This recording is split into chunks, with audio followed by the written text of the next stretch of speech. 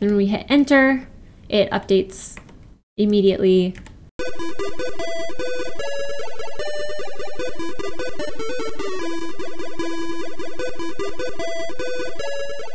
All right, so let's add the functionality for us to be able to move our tasks between different lists.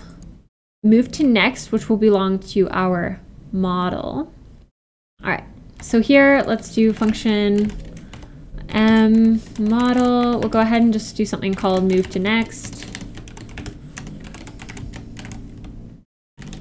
And this will return a tea dot message. So this is a tea dot command just based on that signature. So we'll go ahead and use selected item is equal to m dot lists, and it would be whichever one is our focused uh, dot selected item, and then we'll go ahead and make selected selected task because we have to convert it basically. Um, we'll do selected item dot wrap it as a task.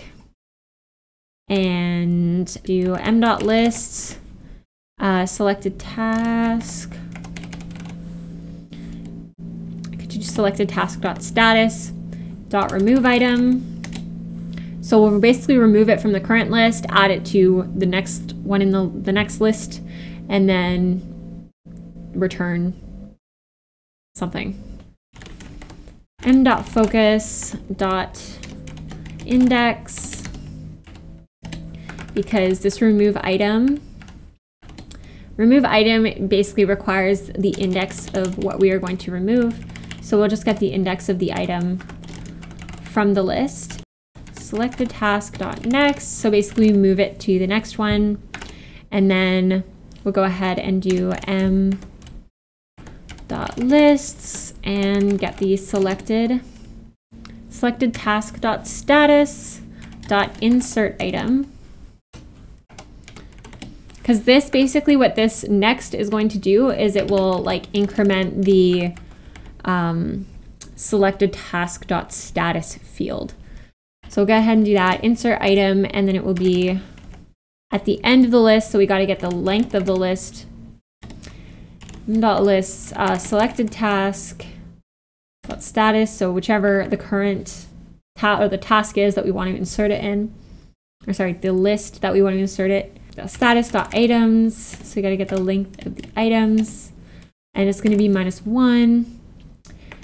And then we are also going to do list dot item. Which item are we adding? We're going to do selected selected task. It's the whole thing. Oh, I think I need you here. There we go.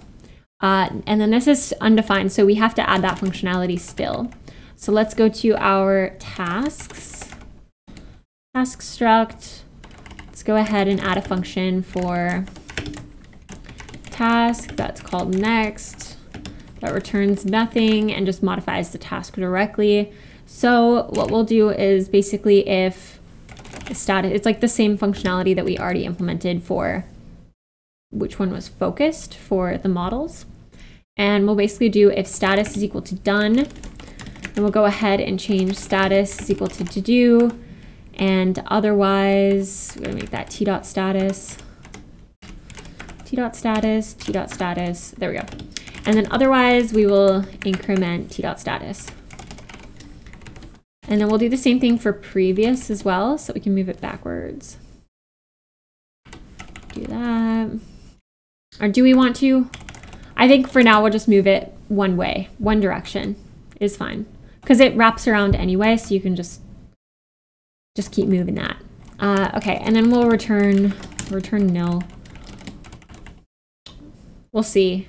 We'll see if we want to change this later, but I think we'll just leave it as return nil because that way we can use it as a command that we pass down. All right. So then let's add a case here where we actually call that. So let's do enter. Make enter the uh, the one. Here, what we want to do is we'll return m and the m dot move to next. Go ahead and run it. And when we hit enter, it updates immediately the list that we're seeing. So if I hit that again, it'll like bring it back to this original list.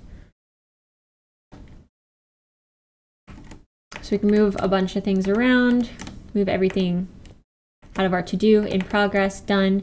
And of course, because we're using mock data, it's actually just gonna reset the list when we run it again. But of course, you can choose to like persist that data and use a proper database and pull from that and all of that good stuff. But this is more so of just like a basic little template that you can use for whatever you want, add more functionality to it. Let's add the functionality to be able to add a new task to our lists of things to do. It will add to our current focused list. So to be able to add a new item, I think the best course of action here is that we're basically gonna have an input